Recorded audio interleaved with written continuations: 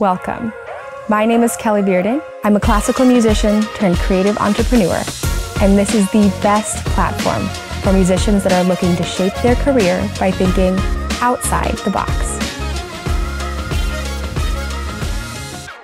Claire, I'm so excited to have you on the podcast today and to be finally having this conversation in person and not just on Instagram. Um, I know we'll get to all your content creation, all the amazing things that you do on socials, but I want to start way back at the very beginning. When did you first start singing? Wow. Okay, so I'm almost 34 now, but I started when I was 15, which actually a lot oh of people goodness. think are late, is late, but yeah. it's not. It's actually surprisingly not. And um, I was very shy as a kid, and I discovered theater when I was 14, 15, and I loved it. And I helped, I mean, as a little, little kid, of course, I loved dancing and performing. And then I was bullied a lot. And so I, hmm. who knows, I think my shyness developed through bullying, but who I really am is I love to perform. And so I got back into that with the teacher who was randomly teaching in our house and he gave us free lessons because we had this beautiful house with tall ceilings and a beautiful mm. grand piano that my dad had. And he's like, and we, we were, we were artists and he needed a place to teach his lessons. And so this guy gave us free lessons and I was very shy and I was kind of snooping around the corner listening to all the lessons that he was having with his students. And I was like, and I'd be making a sandwich after school and just taking a long time to make the sandwich in the kitchen and listen. And one day he's like, Claire, you want to come and have a lesson? I was like, oh my God. And then I did. And I don't remember being pitchy. I was just nervous. But then I started having fun. But apparently I was very, very, very pitchy mm. for many, many months. And my mom even took him aside and was worried and was like, is this like gonna, she gonna grow out of this? And he's like, yeah, yeah. And as a kid, I had ear infections. So we thought I had maybe mm. hearing loss. But I grew out of it and I actually learned a, a, way of singing, of feeling the vibrations bounce off my body, which is like bat sonar. And most people don't learn that, but I had to. And that turned mm. into the way that I teach today, which is a way more effective approach to singing, in my opinion, because the ears are never reliable, period. But I had to learn that way. So it was a blessing. That is um, so cool. Yeah. And especially since I, I think a lot of students, and I'm sure a lot of teachers resonate with this, we see everything. we hear everything and we see students of all different natural talents and ability levels. Yeah. And it, it, it's hard because I think a lot of at first glance it would be easy for a lot of us to just dismiss a student that doesn't have, you know, that natural born initial talent presentation at first, especially in voice. But this method that you developed born from your own struggles um, it, it, sounds like it speaks to a lot of students and works for a lot of students, not just the students that come to you with a little bit of talent already. It does. I mean, the irony is I'm so sensitive to that because it was me and I was, it never came naturally to me at first. I was mm-hmm. an athlete and I worked hard and I also had major ADD as a kid. And I'm not someone who lightly throws away around that term. I like really, really had it and it's actually a great thing it's neurodivergence and it's, it's in a lot of artists it's actually a gift if you learn to harness it but i was one of those dreamy quiet girls in the back of the classroom nobody would notice but i wasn't paying attention and i wasn't doing well in school and i go I, I would get straight a's but i would just have to kill myself to do it. And i would take five hours to read 20 pages. And so i was very um, um let's see. Oh, sorry what was the question again? Look at that. Oh right. It You're gave totally me fine. patience. It gave me patience. So my brain and you will see part of my gift is seeing so much all at the same time but then right? And that is I my gift. it. and in school it doesn't really set you up to mm. acknowledge that as a gift. And so um I have that extreme compassion and sensitivity about that to others and to feel like you're very slow at your process. Mm-hmm. And I'm someone who is very slow at most things at first, but once I learn it, I'm actually faster than most people and I become a master. So it's like I'm very sensitive to people feeling like they're not good enough and worrying that you know just they're failing and just all those things because i've just i've been there if you think you've been there i've been there and so mm. um, i'm very sensitive to that and how confidence and self-worth is a key factor in learning anything. Um, and so yeah i yeah i believe it's given me that perspective and that gentle compassion and that safe space i create people for people That's awesome. And I'm sure students come to you for that. I know you work with a lot of professionals, which you're going to get to in a second too. You have a lot of very like high powered, high success students that you work with, but also allowing people that freedom and, and creating that environment is such a cool spot for people who maybe don't have huge career aspirations, but are just looking to improve that part of themselves. Completely. Cycling back to the lessons in your house though, I, I've, I'm curious. So how did that come to be? I know you said you had an artistic family. Were your parents also musicians? Yes. Well, not professionally, but my mom was, okay. you know, a poet, like, you know, oh, cool. A very non, a non-professional, but very good non-professional poet, like just really good. She even had this calendar in Seattle published. She, when I was, she was pregnant with me and one of her poems was entered and got part of a calendar and it's framed in our. Oh my gosh. Yeah. So like that was a big deal for like, you know, our area yeah. in Seattle. So she's just very good. And, she thinks in metaphor. So therefore, I think in metaphor and I teach in metaphor. And I see the big picture and I see how it's all related to everything. The way you sing is the way you experience your life. The way you have your thoughts is the way you sing. Mm. So that way of being in the world has stuck with me with having a mother who's very poetic. And my dad was a non professional, but pretty good non professional piano player. And Got it. He was always playing, you know, all the pieces, Rachmaninoff, Bach. And so I grew up with NPR and jazz and my dad playing. So I did not grow up with pop or country or anything, which is ironic. And we'll, we can get into that later if you want, because musical theater came later. But all the stuff you hear on the radio now or pop or anything that was not in our house. I, I, don't even know how this happened. Know, when you look at your Instagram or your TikTok, you would never guess that because that's definitely what your students focus on so much. We had like so three funny. channels. My sister ended up on Disney Channel. My sister's Dove Cameron, and so she was a Disney star before she became a VMA and AMA musical sensation. And so we didn't even have Disney Channel, so I don't even know how this happened with us. it's like oh so random.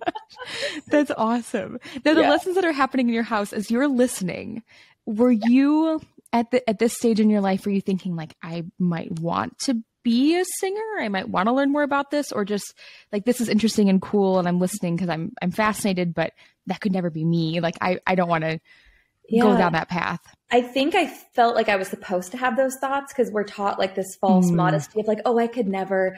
And so, but deep down, I did want it. And as a little, little kid, I was like three, four, five, I would be belting out ballads of JC, Jesus Christ Superstar in the, in the, in the aisles of the grocery store. I'd be like, see my eyes, I can hardly see, see my skin, I'm a mess of blood. And my mom would be like, oh my God, I'm not abusing this child. And so I'd be like, oh, I don't believe. And they're like, everyone's like, Jesus. And like, you know, Jesus. Jesus. And so, oh my gosh. So I that loved awesome. it, but that was covered up for many years under all the bullying I had mm. between men. And so then when I found it, it was like I found my voice again. And it was like, I would love this. And I don't know if I, I didn't think at first I'd love a career. It was more like, I just want to be seen. And I yeah. think that's most people come to me who aren't in the industry, they say, I mean, in a way, most people just want fame. And I, mm. this is not to be, this is not being, what's the word? Uh, uh, cynical. I think a lot of people who come, they they say, I want a career, but I'm like, why? And they're like, well, and it all comes down to, I just want to be known. I just want to be noticed. Mm. And that way, sometimes I tell them, but sometimes I don't. It's like, well, maybe you do want a career, but also if you don't, that's not that's not the right career for you because right. I wanted to be seen too, but I had just enough talent. I was on my way to going to New York, and I could have. I was gonna like have this professional career in opera or Broadway, and like it was like, why am I doing this? I'm, mm. I'm such an introvert. I don't actually really enjoy the lifestyle. I love the art. it's different. Right. You want to be on tour all the time. And even when you're successful yeah. and you've made it, you're struggling financially. Even when you're signing autographs, it's like it, that life doesn't work. And it's like, right. I don't like it. And I don't like all the schmoozing. so it's like, why am I doing this? Why am I doing this? So, yeah. um, yeah, I, I do believe that I wanted it or I thought I wanted it but deep down, I think I just wanted to be seen because I hadn't felt seen in so long. And mm. after working so hard, like I, I did those exercises every day that he taught me. I was diligent. I saw results. I believe that if you, you know, everyone's different. You can't promise results to someone, but I've seen people transform when they put in the work. When you do it, I was seeing results and it was like, oh my God. And people were praising me. And I was like, it was just so nice to have a passion, to have something to focus mm. on that I was special at. And I believe that we as humans are just meant to sing and act and perform because we're meant to, we're born storytellers. So whenever someone says, I've been doing this since I was three, doesn't really phase me not in, in, in, a really kind way. It's just like, that's yeah. nice. But what else? Do you really want the business? Because mm. everybody has been doing this since they were three. We all love this, right? So it's, yeah, it's caused me through time to realize the deep reason why I think we all love performing, which doesn't have to be about the career itself.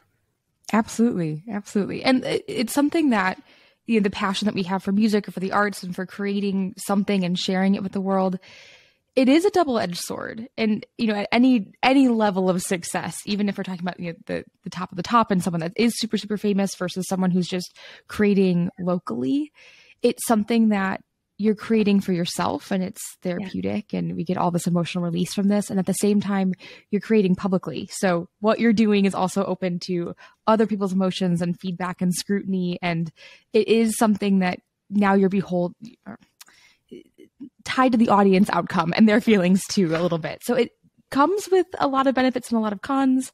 And then when we talk about like going to school and pursuing music long term it can take the passion out of that for a lot of people. So it's it's one thing to have the passion and it's another thing to want all of the other stuff, like you're saying, which is exactly what we're here today to talk about all that other stuff that comes with it. So you get through high school, you're performing and thinking a lot in high school, if I'm correct. Yeah. Right? Yeah, I was. I was finding myself again. As in, when you mm. say finding, it sounds so dramatic, but really it's just uncovering who you are, which is meant to be this beautiful being of light who's expressed. Into high school, I really was performing a lot and I was discovering myself. And when I say that, I really think, because I think so many people why they think they want to go into theater and acting is maybe it is the right reason. I actually really feel like it's 5% of the people who, who really do it is the right reason.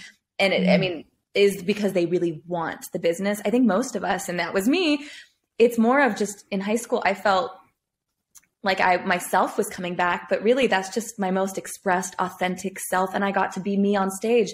And I think in society, we're not really such a victim way to say we're not allowed. I mean, it just feels like we're not really allowed to be our full authentic selves. Yes. Unless, especially I think in American culture, love mm-hmm. America. I'm actually moving to Portugal soon, I think. But I just, it's not the culture for me. Yeah. It's not. And for some people it is, but for me, it's not in the way that I like to express myself. And I feel that it's like we discover being on a stage, we get to play whatever character we want. And it's like, you know, whoever the, ma- the mask I put on, I get to be me. When really those are all just facets of you. So if that's all that it takes, you want to just become an express person. You don't really necessarily want the career.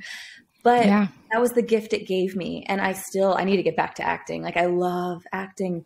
I love creativity. I think it's the most, I feel blocked when I don't regularly create art. I think we're just meant to do that. So I think that's what is beautiful about all of it. So I, you find more of a whole sense of self hmm. when you're doing that. Life is dry yeah. when you're just doing taxes and work. you know what I mean? Tis the season, yes. yes. yeah. Oh my gosh. So as you're getting through high school and you, you you're coming into yourself and you're finding this part of yourself again and you're feeling more authentic and connected. Yeah. You did not initially pursue music and theater when you went to school. And that took you a lot of different places. So for those who don't know your full story, give a quick yeah. overview of what happened after high school because yeah. there was a lot. yes. Well, one thing is little known, it's not really that important, but I quickly did pursue it right away. I went one semester when I was 18 at Emerson College in Boston, mm-hmm. and then I quickly re- realized that wasn't the right place for me. It's a great school, but it was literally just like 40,000 a year to just like it's just so much money and and it's just it just it's nuts to be studying theater at, it's just it's college and it's just yeah. the school system. So i left and i also just wasn't in a good headspace. I was in a deep depression and i just i wanted to go home. I miss my family.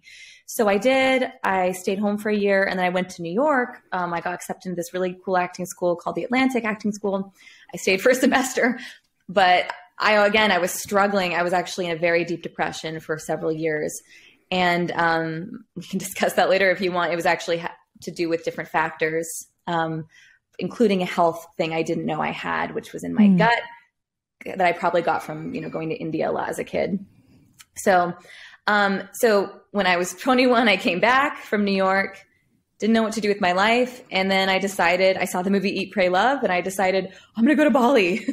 and I was a kid going to India and my, I feel the most at home, like in Hindu culture. And um, we have a lot of, you know, around the house, we had a lot of jazz and music, but we also had a lot of Indian decor. It's a very eclectic childhood. So, um, so I decided to, I got a certificate in teaching English and I taught English there for six months. Um, and my dad died and I had to come back. And then mm. um, I finished, I went to a community college to go back to school for a little bit because we, our family, um, we lost all our money. And it was a very hard time. It was right after 2008, several years after. And it's just, we lost everything. And mm. um, it was hard because I grew up, you know, very basic middle class. Like we weren't rich, but I had everything I ever needed. And suddenly we literally had nothing. And mm. It was hard. And my mom and sister had just moved to LA. And yeah, our house, we, we literally lost the house to the bank because of um, to the crash. And our dogs, we lo- it was just everything was lost overnight. Mm. And um, yeah, it makes me emotional still because it's just like, it's, it's hard. A lot and changed so fast. I am so sorry. Oh no, it's okay. No, it's. I'm also just an emotional person, so there's nothing wrong with me. Don't worry. I'm.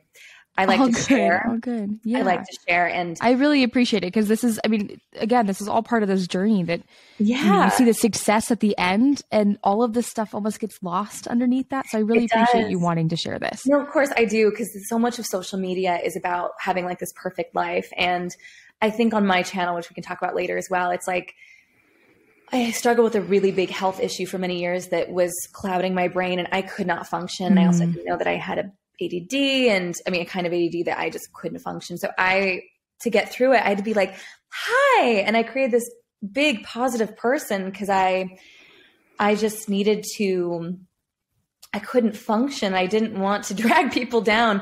Mm. And so it is me, the person I've created on social media, but it's also I'm working on finding a more authentic middle ground because I created that way of being at a time when I was very sick um, mm with my gut. And uh, yeah, so, but that's just to say, I never want to give the illusion of social media like my life's perfect because a lot of people somehow think that mine is, which I understand because I make it look like it is. But um, it's not. And our family's gone through a lot. Our dad died, and it was a very sudden, horrible way. And it was just very, and then my sister became so famous. So much has changed, and it sounds um, we're still very privileged. I mean, but at the same time, we lost everything, and I had no, um, definitely no hand me ups. Like mm. I did everything myself. I worked from the bottom, and I went back to school. Um, worked really hard. Graduated. I thought I, I studied anthropology actually, but along the sides along that time i was studying privately with other teachers because i actually don't believe that you have to go to school for it actually some of the best teachers never went to school. Yes. and some of the teachers I've that never really would agree with at all who aren't that great at teaching they've been to school and they know all the terms but they're not yeah. they're they're educated but they're not intelligent. There's a difference. They don't have the gift.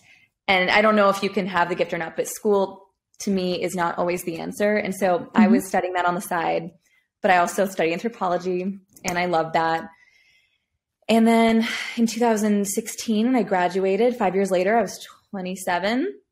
Um, I was like, crap, what do I do with my life? And my mom's like, well, don't really, can't really do anything with your degree. I was like, yeah, crap. And it's like, well, she's like, you can teach singing. I'm like, I don't know. I, I don't know how to teach. And like, I would be a good hmm. teacher. And she's like, well, it's the only thing you got. I'm like, all right, crap. It's the only thing I got. so I just studied and I she went thinks, mom, it's the only, it's, this, really, this wonderful talent. It's the only thing I've got. I know. I was, like, I could go for it as a career, but that's like, oh, you're so even funny. if you succeed, that's no money for years. So yeah, oh, I did it. It is.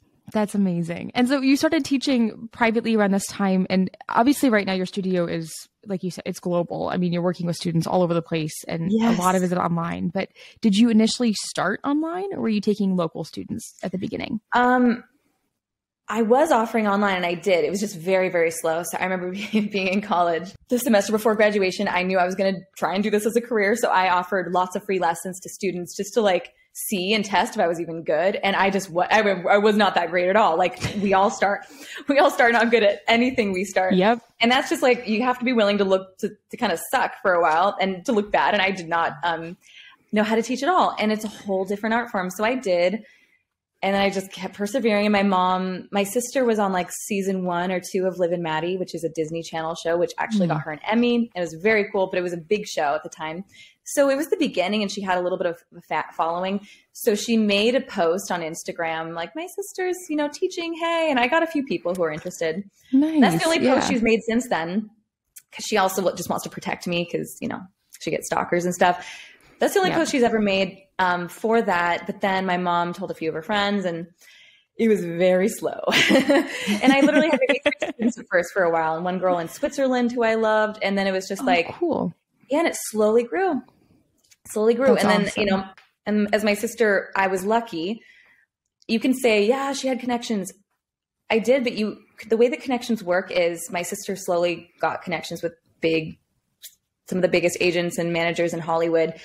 But the thing is, if you meet them, you get one chance. And they would send a couple mm. people to me and they would come back with glowing reviews and send more to me. So I had to prove myself every time through that door. You just get one chance. And I proved myself and I worked hard and um, then words started to grow, but I have no idea how this it just unfolded all these years. Like I don't even know how this started. It's just woo, and now it's huge.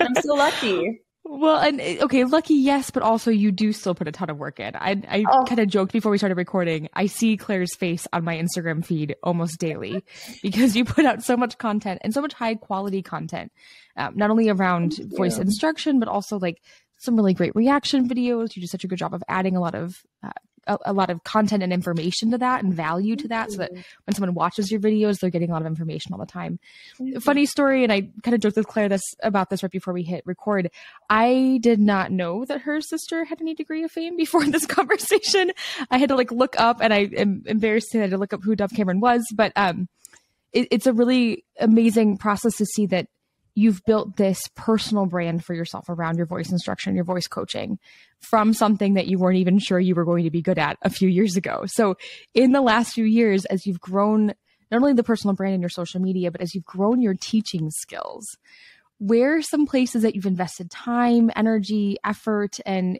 and really built this set of tools that you have for your teaching to continue to improve? Um, you mean what are the tools that I've been using the most? Yeah, or like how have you found education around that, or any resources that have helped you? Oh, grow as a teacher. Mm-hmm. Oh, well, I mean, okay, this is the funny thing. Truthfully, if you want to know how I started, um, so the, the thing, the thing with teaching singing is it's not there's resources everywhere and i started with youtube i was like crap i i knew singing i'd been studying it for years but I didn't know how to teach it. So I looked online mm. and I looked at teachers who were teaching and I saw how they were teaching. And some of them I agreed with and some I didn't, but the ones I resonated with, I was like, okay, how are they trying to convey that to their student? Because teaching is a whole different animal, as I'm sure your listeners know. Yes. And so I would observe and I would even, if, if they said a certain phrase or a phrase I liked, I would incorporate it. And at first I was like, mm. and it's like, no, I'm not. You are, they're learning what their teachers taught them. And singing, we're all learning from each other and we're building this beautiful i believe something i don't believe in is just studying what was taught 200 years ago and that's it. And i was taught that we're sticking with that. I'm like nope i'm just a natural pioneer. So i'm like teach me everything that was before. Got it. Oh but i'm also feeling what's this and it's like well that that's not on the menu it's like well i don't care I'm, this works like, mm. and i've been getting some pushback in the past with people mm. who have very traditional backgrounds of this is how it's supposed to be and then others are like holy crap this is huge we only know this much about the voice still, right. just a tip. And so I love exploring all these different teachers and I've exposed myself to them and what works live, in person, or on YouTube. And I just keep adding. And in the meantime, I also became an NL- NLP coach, which is neuro linguistic programming, which is literally helping people rewire their brains for success. And so I'm very much into that and the neuroscience behind confidence. And so what I'm known for in the industry is having top techniques, number one, just that work and that can just right away give like depends on the person, but sometimes like a ner- like a like a surgeon, like a surgical mm. striker, in and out, it's there, especially if they've been doing it for years and we're in the studio and I just say one thing, it it can save thousands of dollars, right, in the recording room. Um but also sometimes I see that it's a mindset thing that they need. And that's what makes me that's where I stand out in the industry. So I really want to tell your listeners to never feel like you have to stay with within the realm of this is what's taught, this is what works. Mm. Yes, respect it, learn, but then we're always expanding. We're always growing. And that's it, you, it, it's a choice. You can be a leader a pioneer or stay in a place that's already established neither good nor bad. But if you want to if you're feeling like you want to expand you can. And look at me as an example. A lot of people like what are you doing? It's like i don't even know. And it just works. You know what i mean?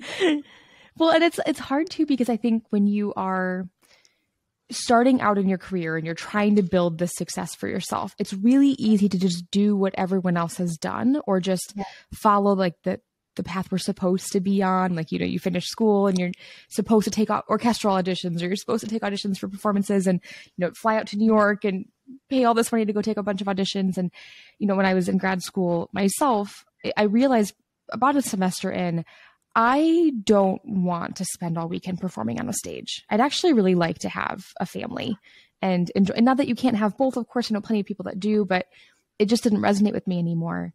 And at a certain point, it kind of clicked that if I want something different, I have to do something different than what everybody else has done before me. And you're right, there is no right or wrong way. But if you want a different path to success or a different career, you got to be innovative and try new things.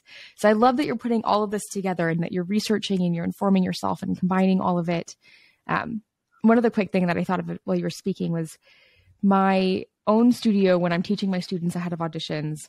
I always tell them that performance is 5% preparation and 95% belief because you have to believe in the preparation that you put in and you also believe in yourself. Otherwise, you're not going to have a great performance. It's not going to be a good day, and you're not going to have fun doing it. What's the point if it just is a monotonous, boring process? So, of course, practice and prepare and be ready. But then when you get there, you have to believe in yourself. And I wish I had figured that out earlier for myself and my performance and practice too.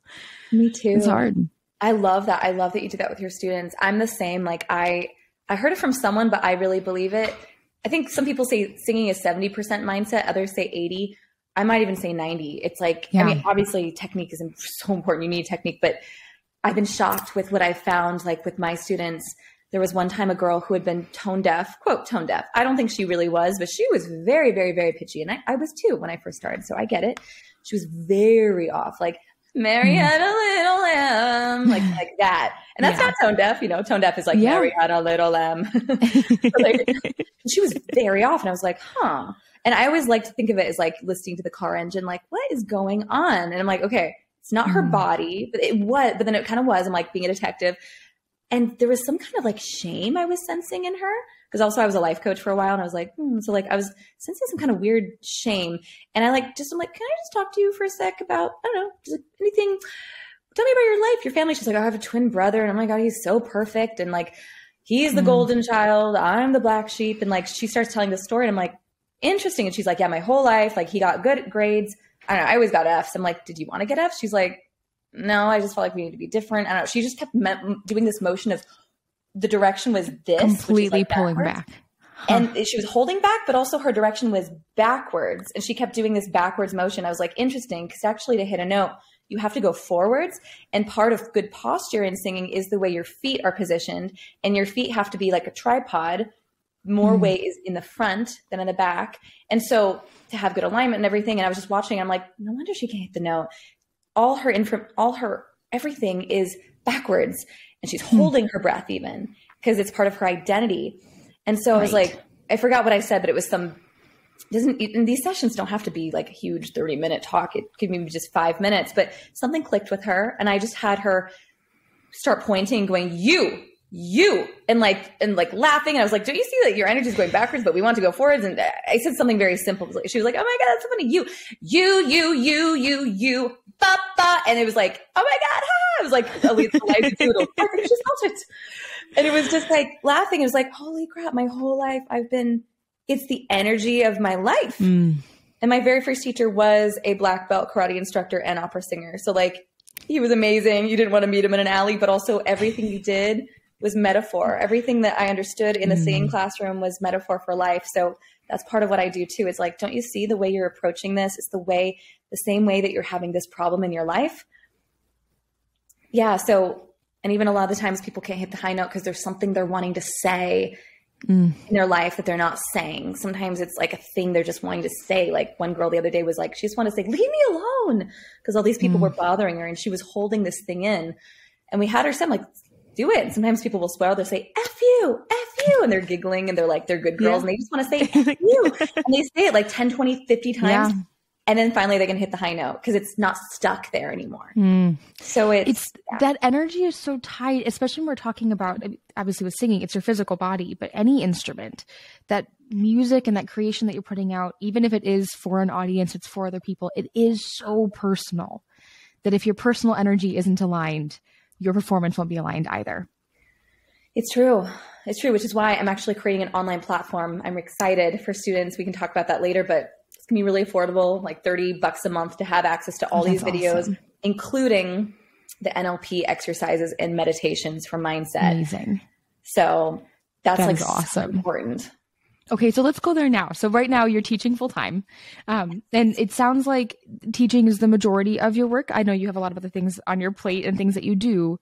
Give yeah. me a full picture of what a, an average day looks like for Claire right now. Uh, average day. Well, um, in general, if I didn't block off my calendar, I'm very, very lucky. I have a wait list and I have um, many weeks blocked off, and it's like I'm in this transition where I want to move to Portugal and lots of things are changing and I'm creating this online membership. Normally it would be eight hours a day of teaching. Mm. And which is a lot. And like you have a break in between. And I've learned, I'm learning to manage my energy, but I'm such, I'm such an introvert and an empath and it's like been an interesting challenge. I still struggle with it, keeping my energy to myself and not just, it's like being available to them and feeling it, but not leaking. So normally it'd be eight hours a day of that, but recently I'm just I'm filming so much for the membership, so I've had to cut back on my availability, and I'm creating it. And I would rather actually serve way more people through a membership because mm-hmm. singing lessons can be expensive, and mm-hmm. You know, with the whole where the world is right now with the recession, and it's like I'd rather just serve more people. So that's what my days are looking like at the moment is teaching I'd say half time and then filming full time. This is the last few weeks, but in general, it's teaching full time, which is very lucky. Wow. And it's also like, it's a little too much for me. So I'm trying to, that's also why I'm doing the membership because it's, it's too much for me. Seven years of this is great, but I'm starting to yeah. get really tired of, it's just a lot of energy. It is, especially when you're talking about these really deep personal things with people on an ongoing basis. That emotional drain is exhausting. And like okay we're, we're both women i think we also have even more emotional drain because people expect a higher degree of empathy for you and then when you are empathetic and sympathetic it just depletes you completely when you've got that all day. So it makes total sense and all the passion in the world does not fix the fact that you know you only get eight hours of sleep hopefully a night you can't recharge that fast. It is a lot. It's true. It's true. It's a um, lot. balance this. Um yes it's a lot. So when you are, you're looking forward towards the membership and this move, what is prompting the move, if you don't mind me asking? What has you excited about Portugal in particular? Well, um, I'm frankly just excited as some as someone who just grew up with a family that traveled a lot because my parents went to India and Pakistan and Afghanistan a lot. I love the world, and I've lived in Indonesia for almost a year in Paris, and I've just been to a lot of countries, and I miss it and I speak mm-hmm. I speak some of the languages and I just love it. And I I think at the moment, well, my, my number one, my mom is moving there um, before me because oh, she wants to move there for retirement cool. with her husband. So oh, that's awesome. And the funny thing is, the only reason why I moved to LA was to be closer to my family. So, and the irony is, it's become this big success, but I'm really just here with my family. Um, and so she's moving, and my sister's never here anyway. Like she lives in LA, but she's gone all the time anyway. So I I want to move to Portugal because my mom's moving there. But I'm like, why not? It sounds amazing. Yeah. The, the, the, way of it's just way cheaper. The quality of life I've heard is amazing. It's sunny and it's just like I'm ready for a new adventure and I'm ready. I'm ready to learn the language. I just I just have a good feeling about it. I don't know why. When my mom said it, something in me was like, there was a silence. You know, like when there's a lot of noise in your head and suddenly everything goes silent and it completely know. resonates with you and it feels right in your gut. Yep. I don't even know why, but it just feels right. And I, it's so random. So, oh, I, and awesome. I can, and with the membership, it's just weird, like coming together in a synchronistic way of like, well, let's just pack up and go. I'm literally going to leave most everything behind and put it in a wow in a little tiny container. I'll probably bring 20, you know, I'll just actually really several boxes. I'm leaving all my furniture behind. Wow. And I'm just going to come with lots of suitcases and a giant, giant pellet box. That'll be awesome. Oh my goodness. Now, as you've as you've built this, and part of what gives you this freedom is that you have a phenomenal following on social media. And I'm assuming at this point, in addition to these industry connections and referrals that you're getting, a lot of your students probably do find you on social media, right? Yes, that's essential. Yes. That's essential. That's awesome. Actually, I would. So I would recommend that to your audience. Why did you start posting initially on Instagram and on TikTok? Um, because I heard it was what you were supposed to do. Everyone's like, you should be doing that. I'm like, yeah, I should. and so I did several years ago, and I was clunky and nervous, and um, and then I realized, wow, I really should, because it that's where people would they'd be like, oh, I saw your video, or hmm. some random people would just find it, and it was like, oh, this is easy. And it was really hard to find students otherwise. I mean, word of mouth now is big mm-hmm. which is great. But the beginning, no way. So word right. of mouth and social media, I think, has contributed. So I was already working so hard. It's like, well, I might as well be working hard on broadcasting my stuff to the whole world instead of just to like a few people. Um, and then I discovered TikTok last year, and it's huge. My following yeah. on Instagram's pretty much stayed the same for years, and I don't even know if it's my sister's fans or whoever they are. Tech, I mean, they've it's probably fifty thousand, but a lot of them are like, you know, probably 12 year old girls who are fans of my sister. I don't even know. but on TikTok, I grew last year to now by like, now I'm at like 113,000, which is wow. amazing. But really, four months ago, I was at 50,000. So I doubled it three months ago. Wow. Or four months ago to like 65,000 almost by just learning the right videos. So, and I have not really been on there a lot. So I've been doing my best but I'm not even giving it my full thing. So what I'm saying is learn to do it properly. And um, I've learned that you just have to give a tiny bit of really high quality content under one minute, hopefully, and be really accessible and have a mixture of entertainment slash education. And yeah, it's awesome. It is. And your content, like I said before, I've always really enjoyed watching it. Not a vocalist myself, but I always really enjoy watching it because I feel like you do such a great job of breaking down that information. But I'm so curious, what is the type of content? Like, you know, you do like a lot of those vocal reactions and a lot of teaching videos. And I think even recently, I think I saw films of students in your studio and you were working with them live. What kind of content do you enjoy making the most? Ooh. Um, I would say, well, I haven't actually released this kind of content. I would say meditations and NLP stuff because mm. I love, I love being like, and imagine yourself like I love, I love the inner, deep, gentle work. I actually, frankly, mm. I'm not really, I don't really enjoy the kind of, so do this. That's a little too masculine energy for me. So I'm doing it because it's kind of necessary, I think, for my business. But I prefer the more gentle, inner meditations and the way of transforming the way they think, which is way more feminine energy and gentle. So That's I haven't awesome. done that yet. So yeah, but I think I would prefer that. That's awesome. Yeah. Of the yeah. stuff that you put out right now, do you have a type of video that you feel is the easiest for you to put together? Is there something that like, you know, okay, you you've got 30 minutes right now. What are you going to open up your camera and film? Yeah. Um, well, sometimes like what I'll do is I'll scroll, especially on TikTok, I'll scroll people who are in my niche and I'll see what they're teaching. And I'm like, oh yeah, I know about that. I know about that. Cool. Oh, and I love the way she did that. So maybe I'll like, I'll see like the way she entered. She's like, hi. And I'm noticing all the angles she's using. So I'll tag them or I'll save them. And then I'll, if I have 30 minutes to film, I'll look at the ones I've saved and say, okay, I could do a video like this, but with my own spin on it.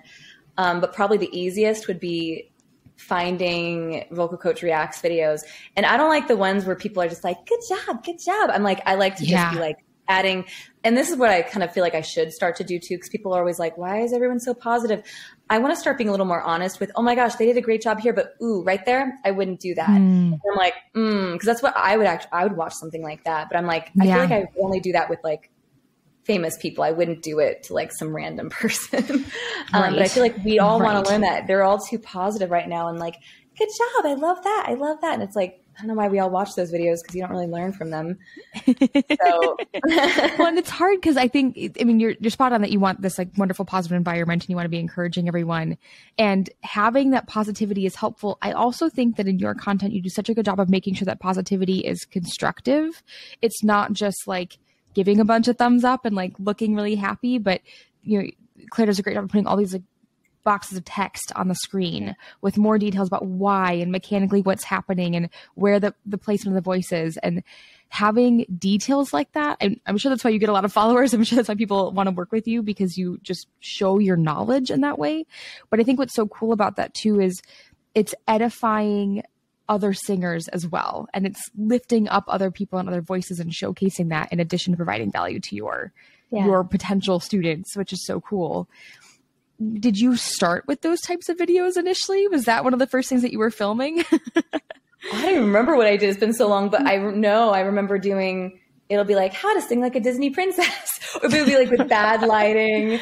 It would just be like with my student, or it would be. I would do stuff with my students. I would be like, um, okay, we would just be filming a random warm up, like, okay, and now I'm going to have her do some squats. Oh, and she's now we're going to film her. I'm going to film myself coaching her on how to sing Reflection from Mulan but it would just be like it was so random. It wasn't like with a plan. It wasn't like mm. I just think it's way better if you I don't know, sometimes that off the handle, off the cuff just coaching is good, but other times I tend to need more organization of like, okay, I'm gonna teach this, this and this. So it's become a little less random and a little more planned of like, I think I want to teach. Otherwise it's just me just doing my thing. And I want to, I don't want to waste the person's time. And I want to gain their trust that every second with me is going to count.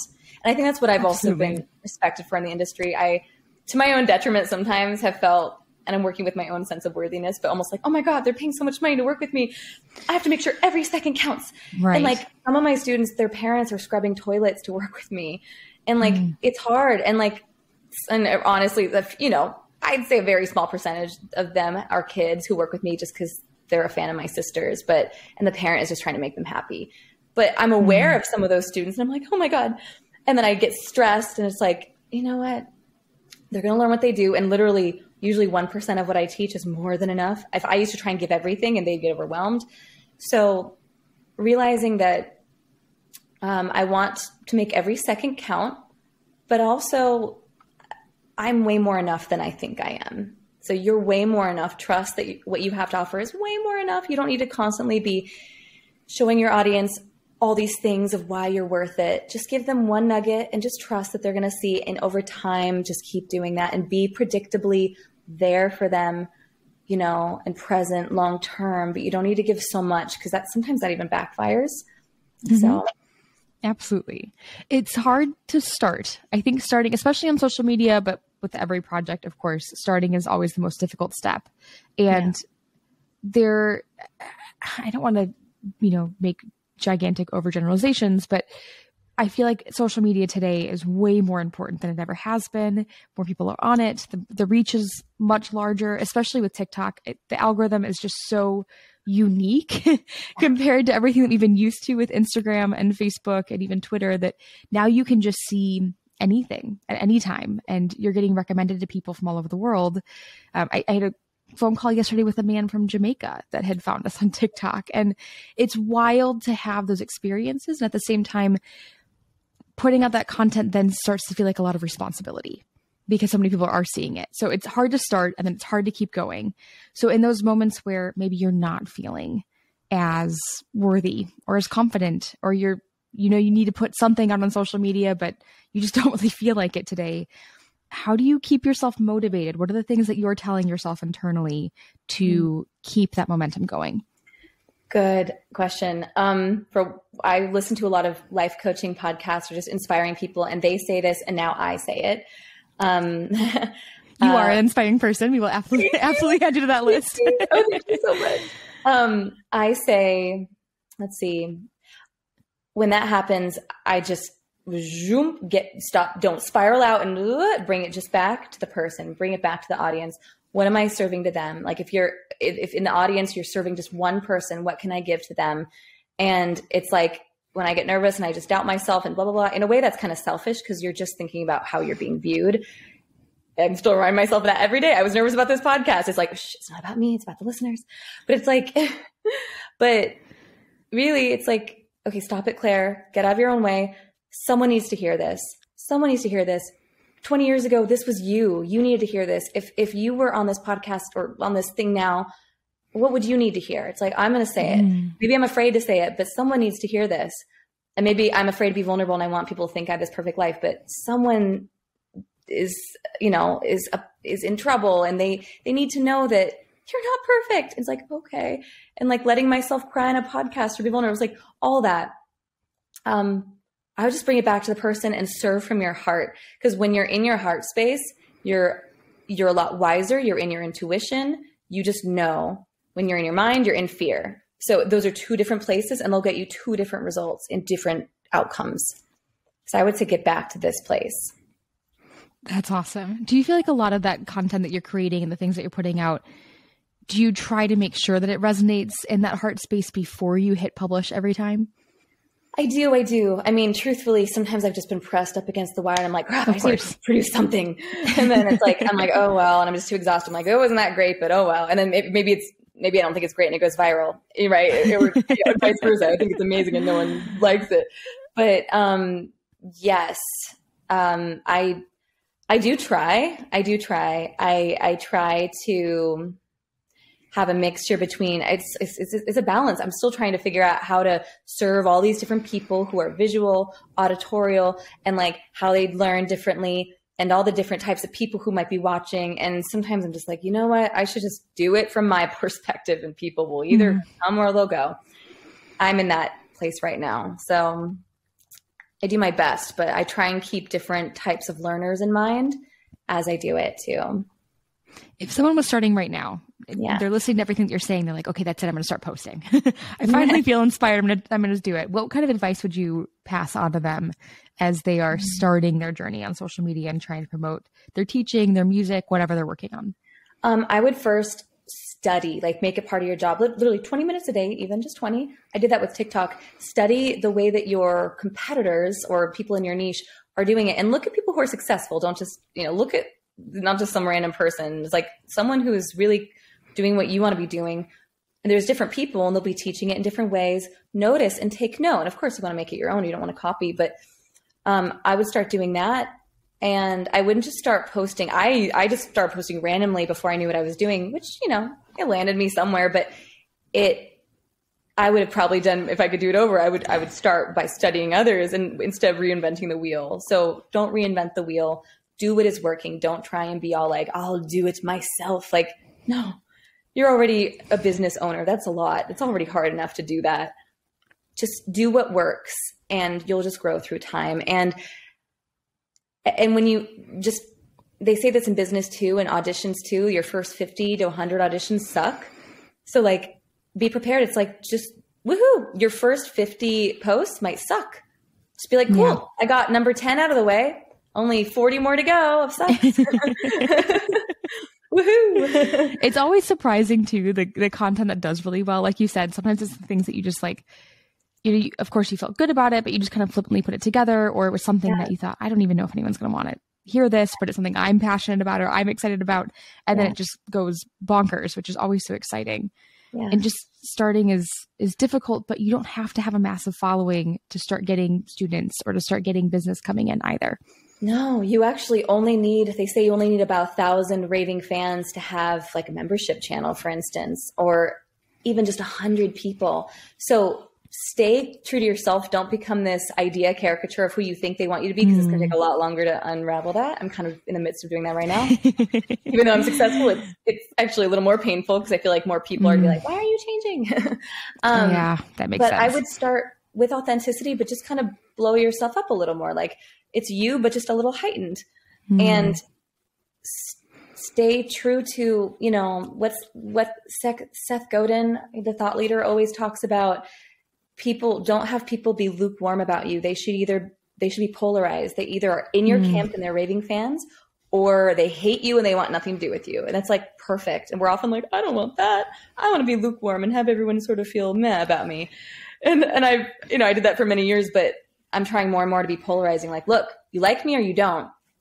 and when and people will come in fast.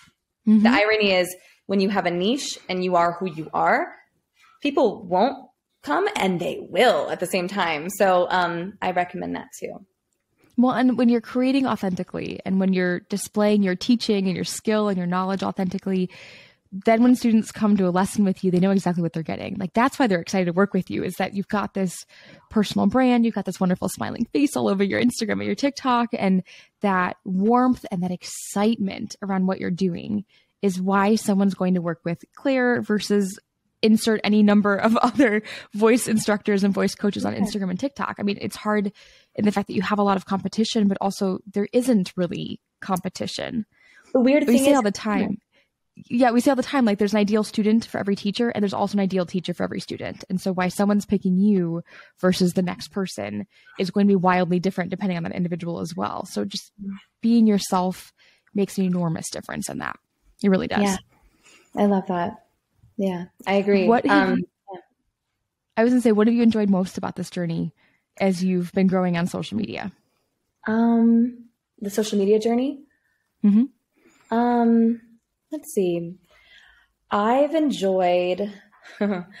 um, I've enjoyed just seeing how many people were impacted by what I was like. Oh, that was just mm-hmm. a simple video. Like how many people were just impacted with like, oh, or it's like you were moved by that, like that moved you, like it's just like so funny, like oh, it's like oh my god, it's been changing my life. I'm like really, like you know, I think we just underestimate our own power and just the power mm-hmm. of being a human with something to say. And then the more and more of a following you have, the more people are like, oh my God, you changed my life. And it's like, really? And sometimes I think, you know, who knows? Maybe they say it because they just, it feels good to say that. But other times, I think they really mean it. And it's, it just it feels really good. So and it you know it's good to hear that. And um, I love that I can have impact on a mass scale with yeah. And the thing is, if you become really good at your niche, like on TikTok, there's like six, five, six, seven people of vocal coaches that pop up when you look. I'm now one of them, which is so cool. And it's like, wow, like how did that happen? But you can you will become that the more you you are, the more general you are, no, I find that the more niche and you, because there only is one you, you get, the more it will just just spiral up. So I think it's also taught me to be just more courageous and bold and be me on a bigger level, which is scary but also exciting. So That's awesome. That is mm-hmm. fantastic. I'm sure that translates not only into your teaching but all of your other projects that you're working on too. Like you find that confidence in your social media and then you go to perform or you go to share something else and it's easier to be yourself and all of that. It is because you've you've faced so many hurdles and like scary moments of some troll commenting, and you're like, "I survived that comment," and it's like it's not true. it's like you know, so, or some singing teacher from the middle of nowhere it was just like, "You don't know anything you're saying," and it's like, "Oh my god, I don't." And it's like, wait a minute, we're all just different. We have differing opinions. She can have her opinion, and not making anyone wrong. It's like, okay, or she's having a bad day. You know what I mean? So it's like, mm-hmm.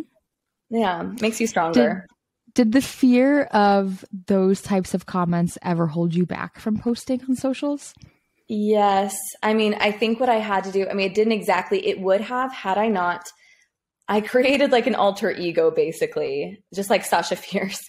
I kind of feel like a lot of us do and I, I really do because I'm like such an introvert. No one would guess, but it's like I actually do kind of have an alter ego when I post, which is still me, but it's it's someone who there's almost like a bulletproof vest I wear, mm. which in a way, I mean, it's something I'm trying to still get. I would like to be a little more vulnerable there because I am truthfully afraid of the comments sometimes because it's um, you know they hurt, and yeah. so I'm still working on that. Um, it didn't stop me in the past because I would just go put on the vest but I wouldn't say that that's accomplishing anything. I would just say that I just kind of bulldoze through it.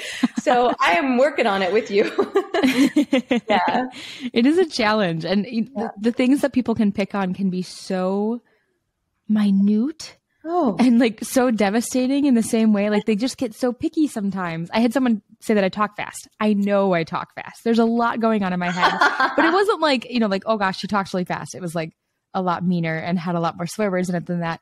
And yeah. at the same time, like it's one of those where I look back on it and I'm like, okay, but I do like that's actually really funny. like I do talk fast, um, and it's because there's so much going on in my brain that I want to get out that half the time I'm talking over myself trying to accomplish that. Yeah. And at the same time, like seeing that comment, sometimes it brings awareness. And then also sometimes you see things that are just, just flat out mean. And it does hurt. It really does. But it does.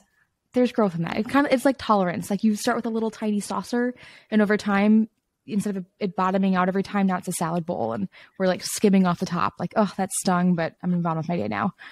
It's true. And my sister was in some interview the other day and she's trying to, of course, get to her next level. And mm-hmm. she said, and she's LGBT. And so she's, she made some comment about, you know, males as like a joke. Cause like, you know, she would never really mean that, but some, it somehow landed on Fox News and like, and now all these people are saying horrible things about like some of the mm. worst, most horrible, like even violent graphic things when she made like a little tiny joke and like it's if you, I mean, in my brain, if you had a brain, you would know it was just a joke.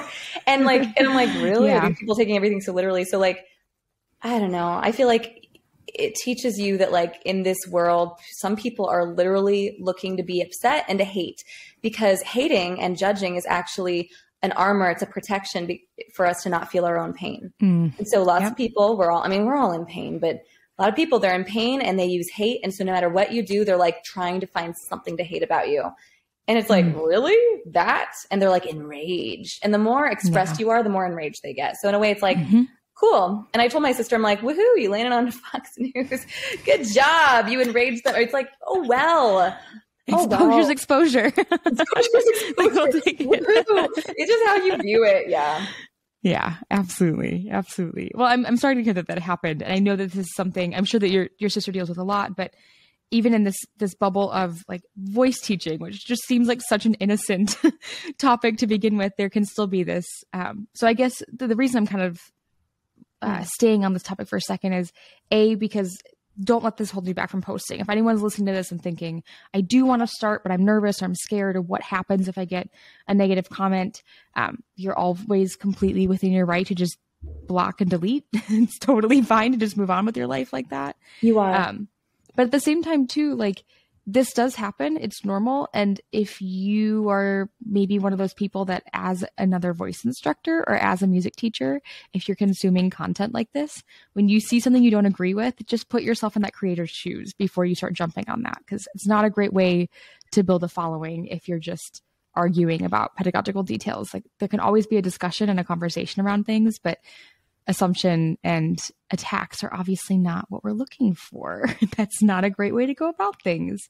So I think we all have to help each other in that, that, you know, that other voice teacher commenting on something that you posted, just use that energy and time to putting, you know, towards putting out content on that point instead. And I think it's a lot more beneficial for everyone involved.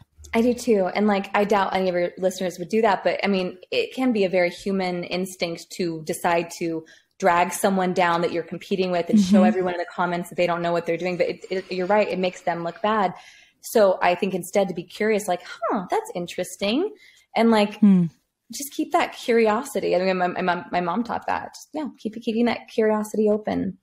Absolutely. And, yeah, I agree. And also, if you ever get the more and more successful you get, you might get DMs of people I don't know, with weird stuff, you can block them. Or they might even be threatening, you know, if you don't give them something they want, something's going to happen, lock them. Yeah. You don't owe anything to anyone. Yep. Yeah, those weird. The, the messages do get weird. I will say that. I didn't even have that large of a following, and the messages got really weird really fast. So they do, but they and they will. they will because the world is weird sometimes. But yep. that's okay. Yeah, absolutely, absolutely. Okay, yeah. so we've got the membership coming up, which I'm super excited to hear about. Tell me more. What is this going to look like? Who are you kind of aiming this towards? What's the plan? So, um, so, so this year I've decided to create a way for thousands of singers around the world to learn, you know, top industry techniques right from their own homes, which I'm so excited about. And it's going to be this monthly online membership. Um, it's going to be launching mid-March and you'll be able to learn the same proven, te- you know, strategies that I teach my students on TV shows and on Broadway it's going to have, you know, hours of recorded video training and vocal exercises and a, pri- um, a private Facebook group that you can interact with and share your singing with and, um, you know, with your fellow members in a very safe, supportive community. And it's going to be for as little as $29.99 a month, which I'm so excited for. Um, yeah, especially because of, you know, the you know the recession and everything so you'll have also have the option to participate in a monthly one hour community zoom call where we'll have you know you'll have the chance to work with me one on one in front of the whole community that's watching and we'll do live q and a's um, and the, the um, a lot of my students have been loving that NLP, neuro linguistic programming mm. mindset strategies, and those will be in the membership too. That's so, so exciting. So it I'm seems so like the the perfect blend of everything that you're excited about and passionate about finally in one place. oh, that's awesome. How long has this been an idea that you've tossed around? A couple years because one thing I recommend to um, your listeners that I would have loved to know is always be listening to what people are asking for. For years, people are like, "Oh, I wish mm. I just can't afford most singing lessons. I wish there was like a course you could make or a membership." And I'm like, "Oh, that's nice." And then one day I'm like, Eureka, that's a good idea. my, my friend's like, you should. I'm like, yeah, I should. Cause yeah, I mean, so many people around the world with currency too, they can't. And so be listening to what people are asking for. They're like, I wish you could teach this, this, and this. I'm like, cool, taking notes, taking notes. And now I'm giving it to them and it's serving them and it's just going to be great. And it feels very good. And ironically, I'm going to work less and it's going to be serving more people. And it's just, always be listening to the breadcrumbs of the universe the universe is throwing at you because i was getting those clues from day one um, and now i'm following it so um, yeah that's awesome. It's something too that i think in general musicians and creatives we aren't great at like we're so focused on our craft and where our passion is that we miss a lot of those doors and those opportunities. So just being aware of that and listening not only to what people are asking for but what other people in your in your circle or working on can always be so helpful because you never know when there's an opportunity for collaboration or you something can come of that relationship or that connection too. Yeah, I also think it's so important as artists and as people um, uh, in the industry who are like have a business that we really put the business side first because you can actually serve more people when you're mm-hmm. not starving. Like I've met amazing teachers who were so good, but they charged so little and they were like living on pennies and they mm-hmm. couldn't become good teachers versus feed yourself first, pay yourself first, have a well, have everything taken care of. And you actually, you deserve way more than you think per hour and solve the business piece first. And then it will allow you to serve your audience tenfold. Even if at first you're like, oh, but I don't know, I don't want to charge that. It's like, learn money mindsets. I would read the book um, "How to Be a Badass" or be, "You Are a Badass at Making Money" by Jen, Jen Sincero. Yep, love her. Like that's really important because I I know too many artists who are very good at the craft, but they're not good at business, and that's just a stereotype we want to break because it mm-hmm. does not have to be that way. And um, I've really proved to myself with starting off broke and in debt. I've broken out of that big time, and you can too.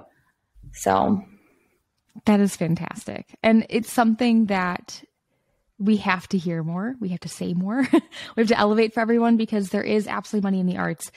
If there wasn't money in the arts, we wouldn't have. You know, we, we, all just watched the Grammys like a couple weeks ago, yeah. and it was mind-blowingly beautiful and this incredible yeah. visual show, and you know, amazing um, you know, costume design for the the show and the set design, and then amazing outfits and gowns. It, it, everything is just insanely wonderful and beautiful and at the same time like those are also just musicians like why are there musicians that are toiling away in silence and in and lack when there's also that degree of success available to us. And i'm not saying that everyone wants to be that level of artist and that's not what we're looking for but at the same time there is opportunity there is money. People value the arts they value the culture that comes with music and theater and performing and you absolutely have those doors open to you too if you're doing it authentically to yourself and making sure everyone actually knows what you're doing. You have yeah. to be vocal about it or they can't buy from you for sure totally what i would do is i mean it's harsh to say but your rate is in conjunction with with what you think you're worth but also the degree to which you're giving back and at, when I first heard this, I was like, what? Because I know people who are amazing people and they work so mm-hmm. hard and they don't make much money. But in a way, it's like, all right, to be blunt, like if you're working at McDonald's, how long does it take to train for that job? An hour.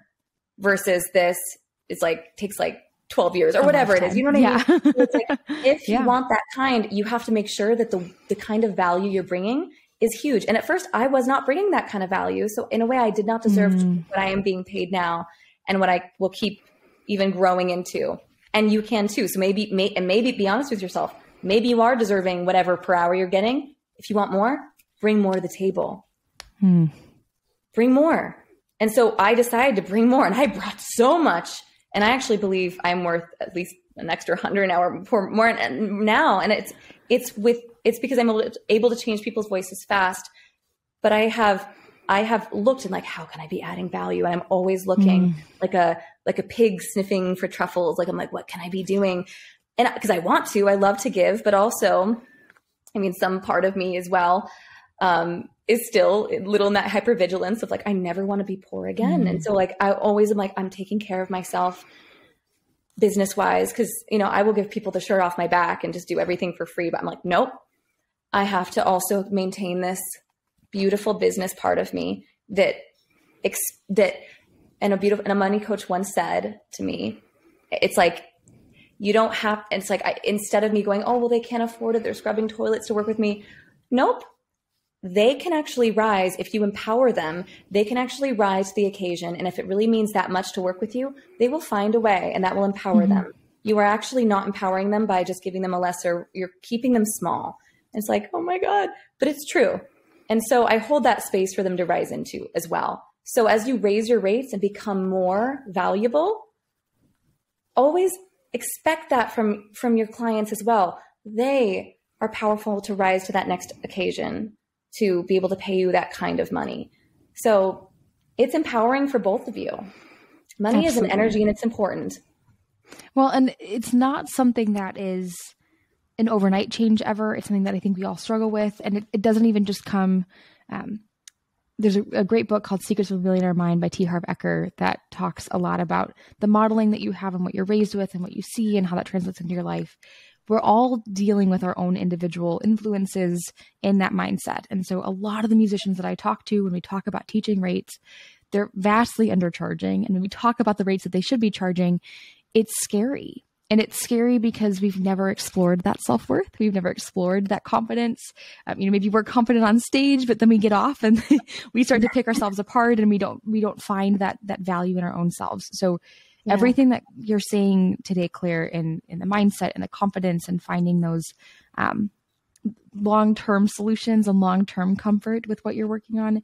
It's so important not only for your your performing but also living a lifestyle as a creative and, and making an income in this field because it's a lot of work but it's absolutely worth it on the other end for sure.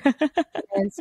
It is, oh, it is. this has been all your, all your passion it, yes, this has been so much fun. I have really, truly enjoyed finally getting to meet you face to face and talking with you about your journey and what this has looked like for you. Um, I really want to say thank you for sharing candidly how we got to this point, but also talking a lot more about your content creation because it's something that I think in some ways can be a little gate kept because it's just newer and we're all trying to figure out how to articulate what we're working on and what projects we're doing and what works and what doesn't. So thank you for being open and sharing and giving so much advice today. This has been wonderful. Of course. Thank you so much for having me. A great opportunity for me to speak on a podcast because I get nervous too. so it was good practice for me. I still get nervous every single one of these episodes. So don't worry. I, way, I get nervous every single time I post a video. So I don't know if that ever goes away. uh, and if it's okay if it doesn't, honestly, I think the. Yeah. Have you ever read um, Everything is Figureoutable by Marie Forleo? I'm reading it right now on my okay. Audible. Oh, it's one of my I favorite books. So much. I, I knew incredible. we got along for a reason. she has this part, and if I'm, maybe you've gotten to it already. I think it's pretty early in the book where she talks about fear and excitement being this little person inside of you, like jumping up and down, and you have to decide which one in each moment it is. Like, are they jumping up and down out of fear? Are they jumping up and down out of excitement? It feels the same, but you have to assess it every time. And I think a lot of times those nerves like that is your superpower. If you can harness that nervous energy, um, to be prepared, to be excited, to be present in that moment, then you absolutely get better results than thinking it's fear and allowing the, the fear part of that to creep in and kind of take over, talk you out of things. So when you're posting, it's excitement. it is excitement. awesome. Seriously, Claire, this has been so much fun. I really appreciate it. I hope everyone that was listening got even 10% of the value that I got out of our conversation today. It's been a ton of fun. So I really do Thank appreciate so it. Thank you guys. Thank you so much.